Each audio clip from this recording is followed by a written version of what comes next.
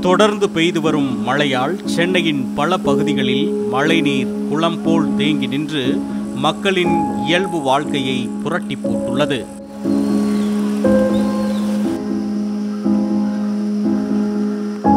ஆயிரம் விளக்கு தொகுதிக்குட்பட்ட கிரியப்பா சாலையில் கடந்த இரண்டு நாட்களாக தேங்கி நிற்கும் மழை நீரோடு அப்பகுதியில் இருக்கும் கால்வாய் கழிவு நீரும் கலந்திருப்பதால் நோய்கள் பரவும் அபாயமும் ஏற்பட்டுள்ளது.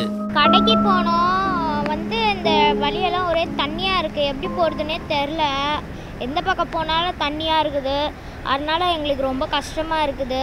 அதனால நாங்கள் வந்து வீட்லேயே இருக்கணும் போல தோணுது. தெரிஞ்ச வீட்டில் போய் படுத்துன்ட்டாரு ராத்திரி படுத்துன்ட்டு போய் பார்க்கலான்னு வர வீடு எப்படி கூட்டிகிட்டு போயிட்டு சார் கடந்த ஆறு வருஷத்தில் இந்த அளவுக்கு மழை வந்ததும் இல்லை. ரெண்டாயிரத்தி பதினஞ்சுக்கு அப்போ வந்து ஒரு ஆறு அடி கிட்ட தண்ணி வந்துச்சு. அப்போ வந்து மழை தொடர்ந்து இருபத்தி நாலு மணி நேரத்துல முப்பத்தி நாலு மணி நேரம் பெய்யும் போது தண்ணி ஃபுல்லாக இருந்தது. அது மழை நிற்க நிற்க வடிஞ்சிட்டு இருந்தது. இந்த வாட்டி மழை அந்தளவுக்கு இல்லை. ஒரே ஒரு நாள் பெஞ்சு. ஒரு நைட்லேயே ஓவர் நைட்லேயே பார்த்தீங்கன்னா இடுப்பளவு தண்ணி வந்துச்சு. ஆனால் வடிகிற வேகம் பார்த்தீங்கன்னா ரொம்ப கம்மியாக இருக்குது நைட்டு ஃபுல்லாக மழை இல்லை. பெரிய பெரிய அளவில் மழை இல்லைனாலும் வடிகிற வேகம் பார்த்தீங்கன்னா ரொம்ப ரொம்ப கம்மியாக இருக்குது அதனால தான் என்னென்னு தான் புரியல. அதோட காரணம். ஆனால் எல்லாமே எம்எல்ஏ வந்தாங்க. மற்ற அதிகாரிங்க லோக்கல் அட்மினிஸ்ட்ரேஷனில் இருக்க எல்லாருமே வந்து பார்த்துட்டு தான் இருக்காங்க. துரிதமாக நடவடிக்கை நடவடிக்கை எடுத்துகிட்டு தான் இருக்காங்க. ஆனாலும் தண்ணி வடிகிற வேகம் பார்த்தீங்கன்னா ரொம்ப குறைவாக தான் இருக்குது நேற்றுலேருந்து பவர் இல்லை ஆனால் இன்னைக்கு காலைல அதுவும் ரீஸ்டோர் பண்ணிட்டாங்க. நடவடிக்கைகளும் நல்லா தான் இருக்குது ஆனால் எதனால் தண்ணியோட வேகம் கம்மியாக மாட்டேங்குதுன்னு தான் புரியல. இப்போ ஒரு ஒரு அடிக்கு இருக்குது மழை இல்லாமல் இருந்தால் இன்றைக்கி நைட்டுக்குள்ளே குறைஞ்சிரும்னு நினைக்கிறேன். முற்றிலுமாக இன்னும் தண்ணி வடியல. ஆனால் எலக்ட்ரிசிட்டி ப்ராப்ளம் இல்லைன்றீங்க.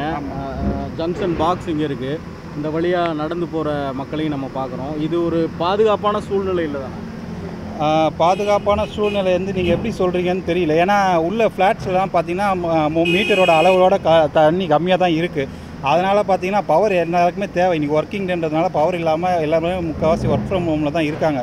அது பவர் வந்து அத்தியாவசிய தேவை இருக்கிறதுனால அது கொடுத்துருக்காங்க. யாருக்குமே எந்த அசம்பாவிதமும் நிகழலை. எல்லாருக்குமே ஒரு சௌகரியமான சூழ்நிலை தான் இப்போதைக்கு இருக்கும். இது இந்த தண்ணியோட மழை தண்ணியோட சாக்கடை தண்ணியும் கலந்து வருது. ஏன்னா அந்த ஓரமாக கால்வாய் போகுது. அதுக்கான வேலையெல்லாம் நடந்துட்டுருக்கு. ஆனால் இந்த தண்ணி வந்து இன்னும் வடியாமல் இருக்கிறது அரசு சரியாக செயல்படுது அப்படின்னு சொல் எப்படி சொல்கிறீங்க இது வந்து காலங்காலமாக இருக்கிற பிரச்சனை. பக்கத்துலேயே கால்வாய் இருக்கும்போது பக்கத்தில் சாக்கடை தண்ணி கலந்து வர்றதுன்றது யாராலையும் தவிர்க்க முடியாது. தண்ணி வந்து அதோடய கொள்ளளவை தாண்டி கா காவா ஓடுற அளவை தாண்டி வரும்போது அது நார்மலாக நடக்கக்கூடிய விஷயந்தான் இதுக்கு ஃப்யூச்சரிஸ்டிக் பிளான் பண்ணால் தான் சரியப்பட்டு வரும். இப்போதைக்கு பண்ணிகிட்டு இருக்காங்க அந்த பார்க்கிங்கோட இது எல்லாம் சரி பண்ணுறதுக்கு ஓரளவுக்கு பண்ணிகிட்டு இருக்காங்க அது முடிவு அடையும் போது தான் இதுக்கான முழு தீர்வு கிடைக்கும்னு நினைக்கிறேன். இது காலங்காலமாக இருக்கிற பிரச்சனை. இதுக்கு எதுவுமே இப்போதைக்கு சொல்யூஷன் எதுவும் அமைக்கலை. ஃப்யூச்சரிஸ்டிக்காக அமைச்சாங்கன்னா கண்டிப்பாக அது தீர்ந்து போயிடும் தான் நினைக்கிறேன்.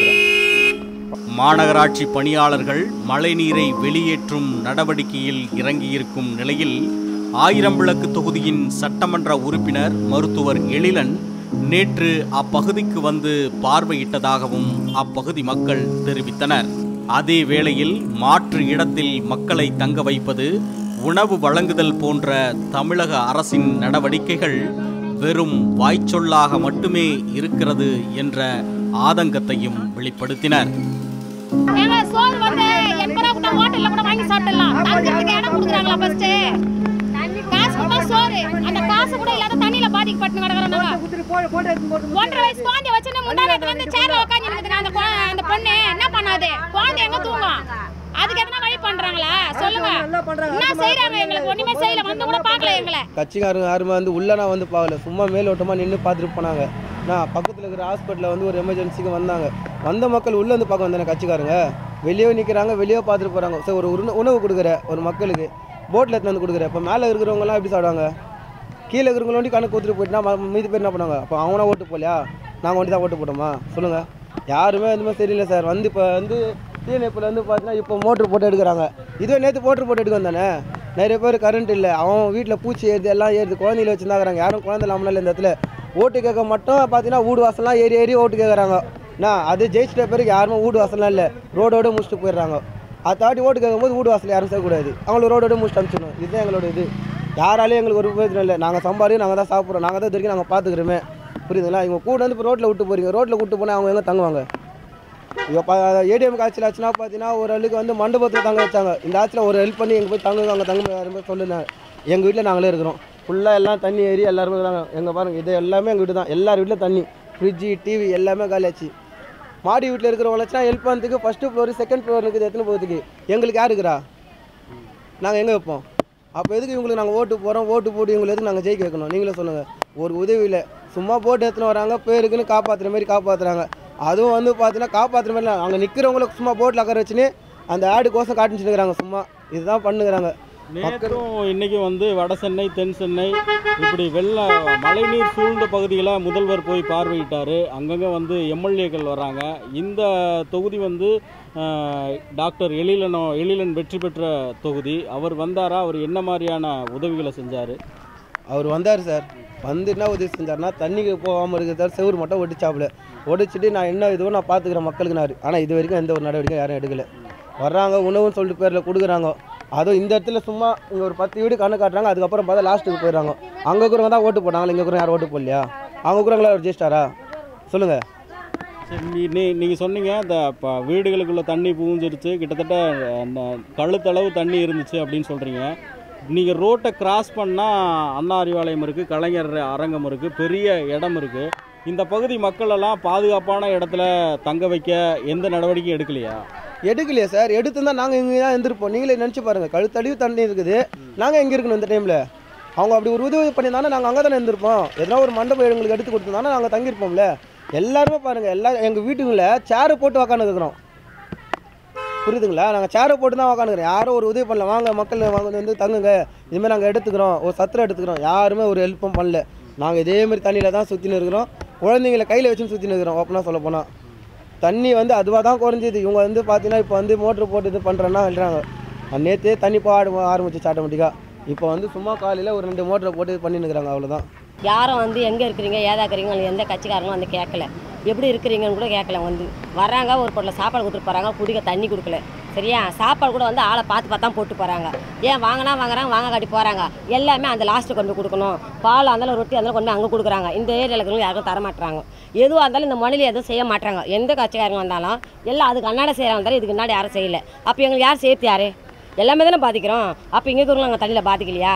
இங்கே தண்ணியில் நாங்கள் யாரும் நிற்கலையா எல்லாம் அங்கே இருந்தால் பாதிக்கிறாங்களா சொல்லுங்கள் எது செய்தாலும் ஆளை பார்த்து தான் செய்கிறாங்க ஏன் அப்படி செய்கிறாங்க ஓட்டு கேட்கும் போது எவ்வளோ தண்ணியாக இருந்தாலும் நீண்டிகள் வந்து ஓட்டு கேட்குறாங்க. வீட்டுக்குள்ளே இருந்தால் கூட வந்து ஓட்டு கேட்குறாங்க இல்லையா? நாங்கள் எல்லாம் அவங்களுக்கு தகுதி தானே ஓட்டு செய்கிறோம் செய்வாங்கிறத நாங்கள் போடுறோம்.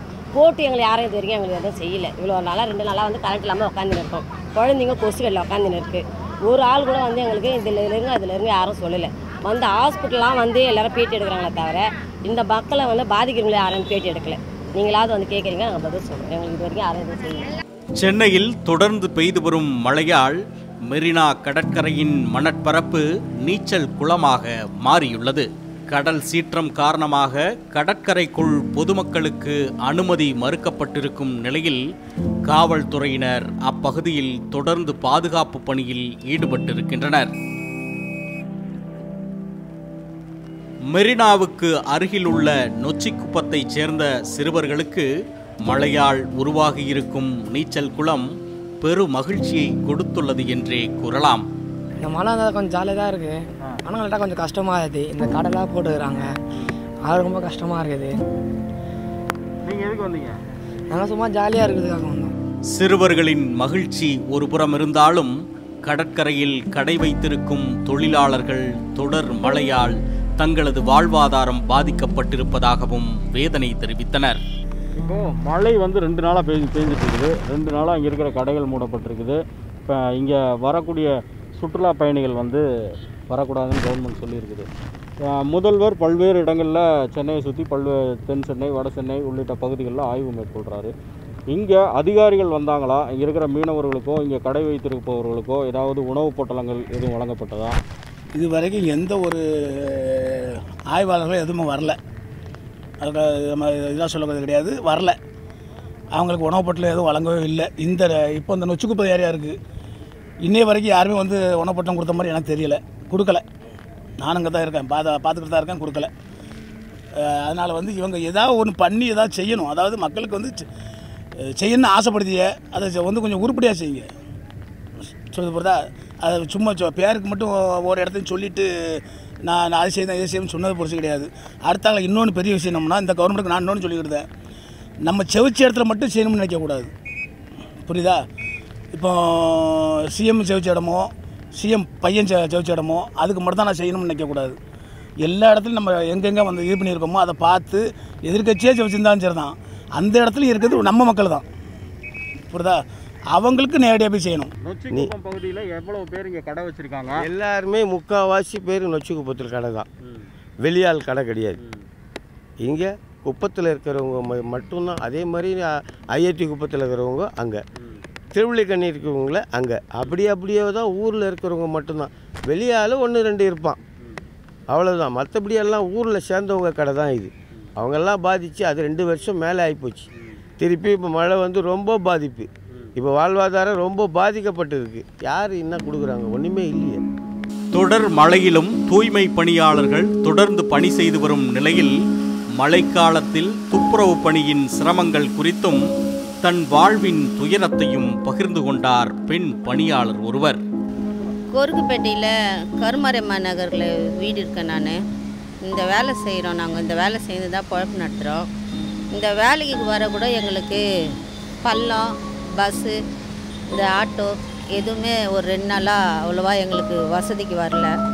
நாங்கள் பெருக்கி வேலை செஞ்சு அந்த கஷ்டத்தில் தான் குடும்பம் பண்ணுறோம் எங்களுக்கு கவர்மெண்ட்டில் எங்களுக்கு எந்த ஒரு சலுகையும் இதுவரையிலும் எங்களுக்கு கிடைக்கல. அந்த முதலமைச்சர் எங்கள் ஏரியா ஃபுல்லாக போய் பார்வையிட தான் போயிருக்கார் கலைஞர். ஆனால் அவர் அவர் மூலிமா எங்களுக்கு இந்த மழை தண்ணி போயிடணும். வீடு ஃபுல்லாக மழை. ரெண்டு நாளாக நான் வீட்டுக்குள்ளேயே போகல. துணி கூட மாற்றலை எங்கள் நாத்தனார் வீட்டில் போய் படுத்துருந்துட்டு காலையில் தான் வந்தேன். இந்த குழப்பனாச்சும் காப்பாற்றிக்கணுமே நேற்று லீவு வர முடியல எங்களால். அதனால் வந்திருக்கேன். எங்கள் ஏரியா கொருக்குப்பேட்டை அந்த இடம் ஃபுல்லாகவே ரொம்ப தண்ணி பள்ளமும் கரண்ட் இல்லை. நேற்றுலாம் ஃபோன் கூட எடுக்கல. சொந்தக்காரங்க எப்படி இருக்காங்க ஏதா இருக்காங்க ஃபோன் பண்ணி கூட கேட்க வசதி இல்லை. எல்லாம் ஒரே நாளில் வந்து இந்த மழை ரெண்டு மூணு நாளில் ரொம்ப சேதம் பண்ணிடுச்சு. எங்கள் ஊர் எங்கள் மக்கள்லாம் ரொம்ப கஷ்டப்படுறாங்க. அதே நேரத்தில் சுத்தம் பண்ணுற பணி வந்து ப பணிங்கிறது வந்து எவ்வ எவ்வளவு சவாலாக இருக்குது? நார்மலான நாங்கள் செமத்தியாக கஷ்டப்படுறோம். எங்களுக்குன்னு கஷ்டப்படல. நாங்கள் ஊருக்குன்னு ரொம்ப கஷ்டப்படுறோம். சில பேர் எங்கள் கஷ்டத்தை புரிஞ்சிக்கவே மாட்றாங்க. நீ சம்பளம் தானே வாங்குற? பெருகிற வேலைக்கு தானே வர? இதை செஞ்சால் என்னான்னு கேவலமாக பேசுகிறாங்க அந்த கேவலமாக பேசாத அளவுக்கு அவங்கள அவங்க புரிஞ்சுக்கணும். ஒரு குடிகாரன் ஒரு லி ரெண்டு லிட்டர் கேனில் பாத்ரூம் பேஞ்சு வச்சுட்டு போகிறான் அதை கூட நாங்கள் ஒப்பி எடுக்கிறோம். எதுக்குன்னா அடுத்த மனுஷாளுங்க வந்து ரொம்ப நோய் நொடி இல்லாத சுத்தமாக இருக்கணும். முதலமைச்சர் நினைக்கிறாரு. பொது ஜனங்களும் நினைக்குது. அதே போல் நம்ம வேலையில் இருக்கிறோம். நம்ம அதை செஞ்சினோம். ஒருத்தர் சொல்லி தான் நம்ம அதை செய்யணுன்ட்டு இல்லை. நம்மளுக்குள்ளவே சுத்தம் இருக்குது அதை நம்ம வெளிப்படுத்தணுன்ட்டு நாங்கள் செய்கிறோம் சென்னையின் பல பகுதிகளில் மழை வெள்ளம் இன்னும் வடியாமல் இருக்கும் நிலையில் மறைந்த முன்னாள் முதல்வர் கருணாநிதியின் கோபாலபுரம் இல்லத்தில் மழைநீர் புகுந்து விடாமல் இருக்க மண் தடுப்புகள் அமைக்கப்பட்டிருக்கின்றன.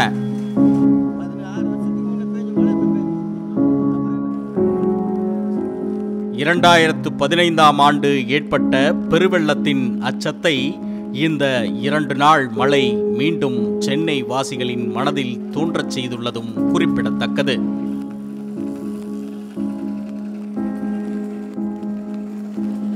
ஆண்டனி பிரதீப்புடன் சேக்பரீத் ரெட்பிக்ஸ் நியூஸ்.